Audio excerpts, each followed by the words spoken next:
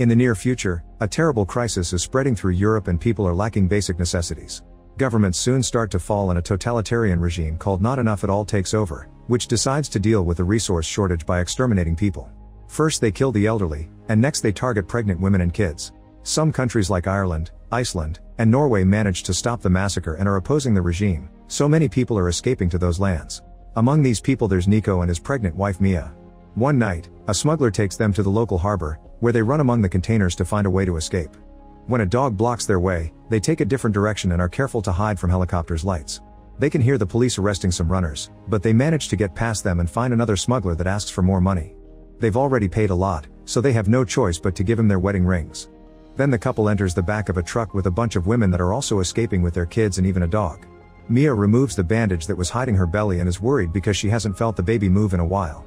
However, Nico teaches her where to find the spot with the baby's foot because that's where the child always kicks. He also gives her a Snickers bar that he's been saving to eat when they get to Ireland as a little celebration prize. After one of the refugees uses a drill to make a hole in the truck and allow the light in, Mia watches the other children and feels guilty because she and Nico left their first child behind, but Nico reminds her that the soldiers took her away so it means she's dead. After only a few hours of traveling, the truck makes a stop to pick up more refugees. The people quickly rush inside and the truck gets too crowded, so the smuggler announces they'll split the group in two, leaving the women and children here and the men will go in another vehicle. Nico tries to explain he was already in this truck with his wife from before, but he's ignored and taken away. The doors are closed and Mia has to watch through a hole how her husband is gone, so she uses her phone to contact him. Nico tells her not to worry because the trucks are going in the same direction, so they'll reunite later. For now she must save battery and keep an eye on their things. As the truck continues traveling, Mia watches the outside world through the hole, being disturbed by the violence on every corner. Soldiers kill rioters without mercy and women are taken away in cages as if they were cattle. Sometime later, the truck stops when they arrive at a checkpoint and all the women rush to hide at the back. The driver presents papers to show he's transporting cargo, but the soldiers open the truck to check anyway. At first sight, they only see a few boxes because the refugees are hiding behind a fake wall. However, the leader is suspicious and sends one of his men inside, asking him to go as far as possible and shoot at the side wall. The guy does so and by seeing the difference in distance, the leader can tell there's a hidden compartment, so he goes inside with a bunch of his soldiers and asks the women to come out. Fearing the worst, Mia climbs on top of the crates right before one of the women opens the fake wall. The leader immediately kills her, and the other soldiers open fire to murder the whole group while Mia is splattered with their blood. By the end, the only ones standing are the dog and a little kid. The dog gets to run away, but the soldiers make sure to kill the kid too. After they're gone, Mia cries and sends her husband a message, telling him to hide. A few hours later, the truck makes it to another harbor and the container is moved to be taken away on a ship. Mia tries calling Nico, but he doesn't pick up, so she just leaves another message saying the ship is taking her away. Then she checks the things in her bag and turns on a light before falling asleep. Sometime later, Mia wakes up when the container starts to shake. Through the holes left by the bullets, she can see the sailors running around because a fierce storm is trashing the ship. Mia begins yelling for help as the shaking makes her roll all over the place, getting hurt until a sudden landing knocks her out. Moments later, Mia wakes up and discovers water is getting into the container through the holes. When she looks outside, she discovers the ship sank and now all the containers including hers are floating in the middle of the sea. She starts panicking and tries to call Nico, but her phone got smashed and it doesn't work. Then she tries an extra phone she brought in her bag, but she doesn't know the password to make it work. After checking that the baby is fine, Mia notices water keeps getting into the container, so she begins opening the crates to find something she can use. Unfortunately, they only have stuff like plastic containers, televisions, alcohol, and earbuds. She also finds a bunch of hoodies and puts one on. After looking around, she begins picking up all the things that fell from her bag, including some tape and a Swiss Army knife. After putting tape on the holes to slow the water down, Mia finds her diary and finds comfort in a picture of her family. Suddenly she hears some screaming and looks through the hole to notice a container slowly sinking with people inside. A desperate Mia begins screaming Nico's name and puts her SIM card in the working phone, but Nico won't pick up and the container sinks, so Mia has a breakdown. For the next few hours, Mia keeps trying the phone to no avail. By the time night falls, she grabs the knife because she's thinking of ending things, but suddenly she feels the baby move. Mia decides to live for the baby and goes to sleep while hearing the whales singing outside. Moments later, Mia notices a hanging crate shaking and moves out of the way right before it falls. However, this causes water to start filling the container at great speed, and Mia thinks she's about to drown only to suddenly wake up and realize it was just a nightmare. She discovers the tape came off and the water is getting worse, so she pushes a crate under the hanging one and releases it with her knife, only to find even more plastic containers. At first she's frustrated but they give her an idea, she removes the rubber from the lids and uses it to cover the lower holes. Then she takes a hose from a machine in one of the many crates and puts it into another hole to take out the water through it. She also moves two crates against the wall so she has a place to lie down, and marks the water levels with more tape, counting down the days until it reaches the limit.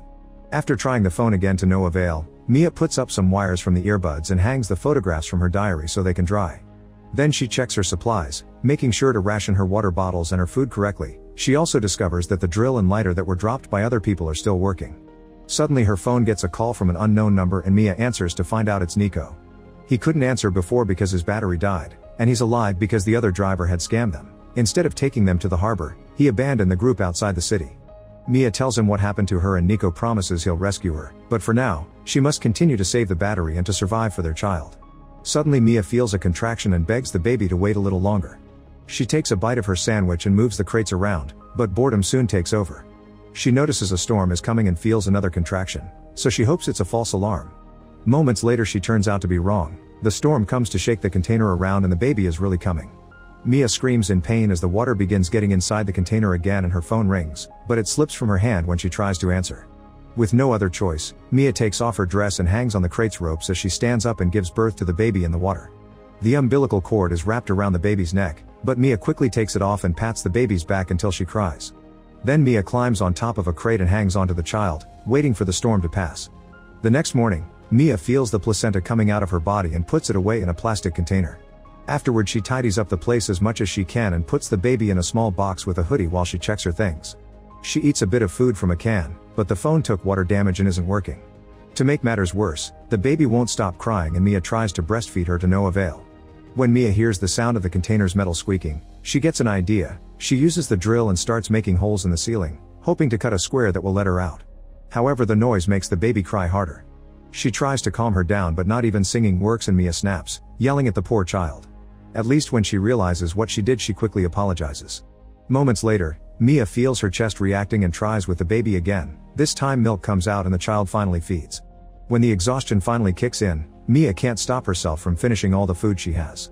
Then she goes back to drilling the ceiling, but unfortunately the drill runs out of battery before she can finish. Next she puts the SIM card back into the original phone, but she still can't make it work. Frustration finally gets to her and she begins throwing around all her things in fury. When she finds the knife, she tries to use it on the holes in the ceiling to finish the job, but this begins hurting her hands. As time passes, Mia doesn't have anything else to do but take care of the baby, occasionally wetting the child's skin to help her with the heat. When she tries to sleep, it's really hard because her stomach keeps growling over the lack of food. In the end desperation wins over and Mia decides to eat her own placenta. Suddenly she hears the whales outside again, and when she looks out, the whale hits the container, causing the baby to cry again. Mia responds by hitting the container walls, scaring the whale again. The next morning, Mia tries with the knife in the holes again, only for the knife to break. The phone is still not working, and Mia has to drink the last of the clean water. Feeling dizzy because of the heat, Mia picks some sea water and throws it on her head, then she begins licking water drops from the ceiling. Unfortunately this makes her sick after a few minutes.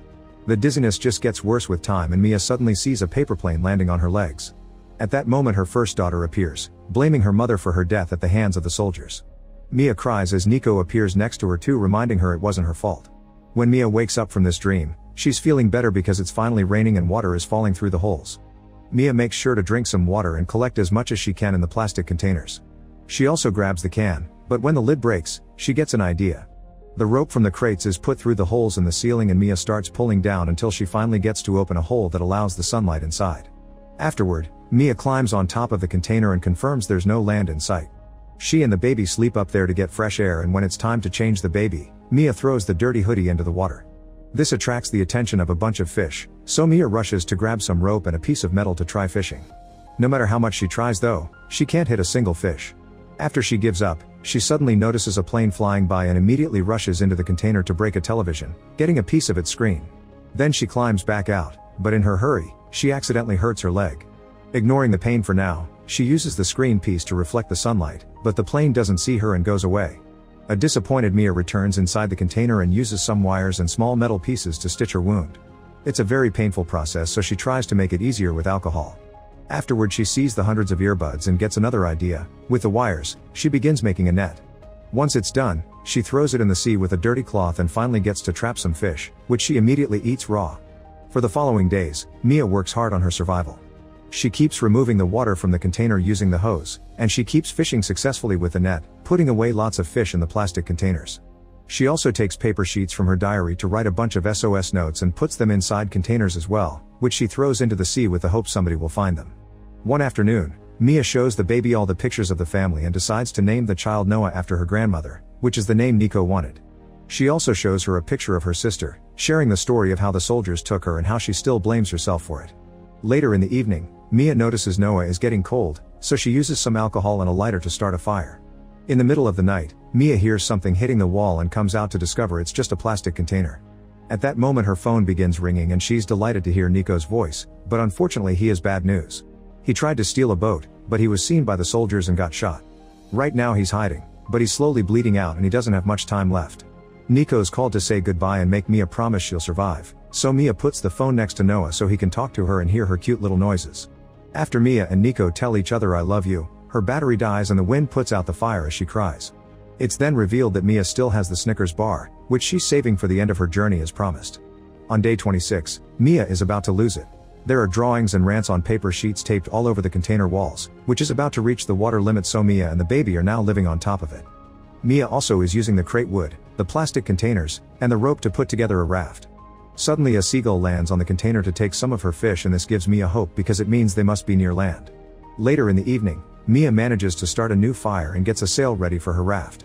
Suddenly she hears a noise inside the container and realizing it'll sink soon, Mia dives in to gather all her pictures. She also sees the Snickers bar inside a plastic container, so she takes the risk and goes further inside to grab it. As the water pushes the raft with Noah away, Mia's foot gets tangled with some rope, so she struggles against it while trying not to drown. With a piece of metal, she manages to cut off the rope and quickly swims out of the container right before it finally sinks. When Mia reaches the surface, she's terrified to discover she can't see Noah. At that moment, a wall passes by and expels some water, which hits Noah and makes her cry. Now Mia can follow the direction of the noise and reunite with her daughter. The next morning while they float around, Mia opens a plastic container and throws out some fish, hoping to attract some birds. Soon a bunch of seagulls are flying above them, and this is noticed by a boat that is sailing nearby. They immediately take the boat in that direction and rescue the small raft, finding Noah inside alive and well. There's also a rope coming out of the raft and falling into the sea, so the sailors start pulling until Mia's body comes out. The sailors immediately start applying CPR but Mia won't wake up, however they refuse to give up for the sake of the baby. After lots of chest compressions, Mia finally reacts, and the sailors hand the baby to her before using the radio to call for help. It takes Mia a moment to realize she's safe and when she looks at the horizon, she sees they're approaching Ireland, meaning she'll be able to get the new life she wanted. Make sure to subscribe and turn on notifications so you can watch more videos like this. Thanks for watching.